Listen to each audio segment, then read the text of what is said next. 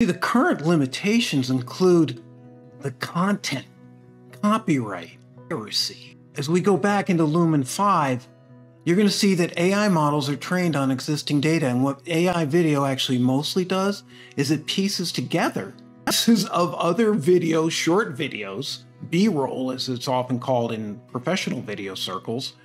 and clips them together using your script or creating its own and putting together a collage of different visuals, which are generally run as I've seen in increments. Some do two seconds, three seconds, five seconds, 10, 15 seconds in, in order so the visual changes either quickly, stays a little long, most of them are under 10 seconds,